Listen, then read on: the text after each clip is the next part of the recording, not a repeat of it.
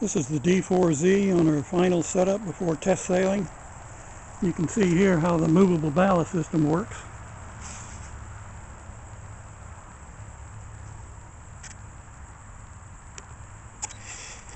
Moves forward and aft.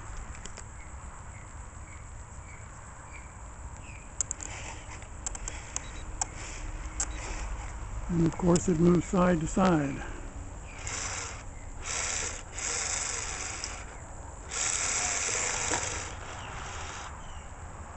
You have the trapeze wires going up to the mast.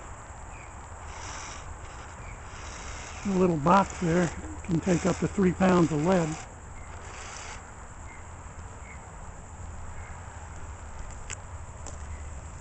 Here we go again.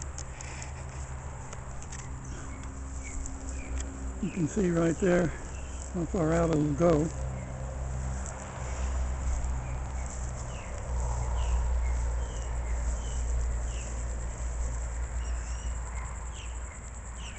The hulls were designed uh, 15 years ago. Movable ballast system was designed about the same time. Because this thing is a foiler, it needs as much righting moment as we can possibly give it, which is the idea of having a movable ballast system. And A movable ballast system does make it uh, a little bit more difficult to sail because of uh, more work to do.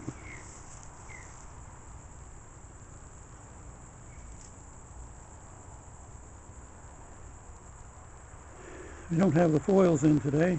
They've already been tested and got pictures of them. But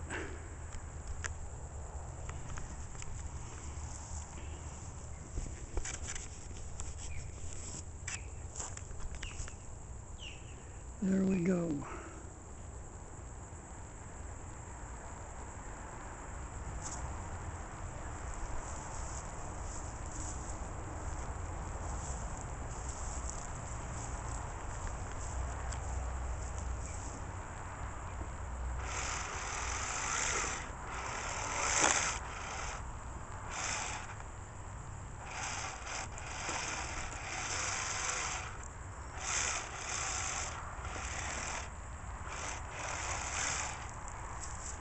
So she appears ready. There's one little problem on the boom. And we uh, made it a little too big. You see where the mark is on it? We've got to just grind that down so that when the movable ballast system is all the way forward, that it clears the boom. I don't know how that got by me, but that's the way it goes. So,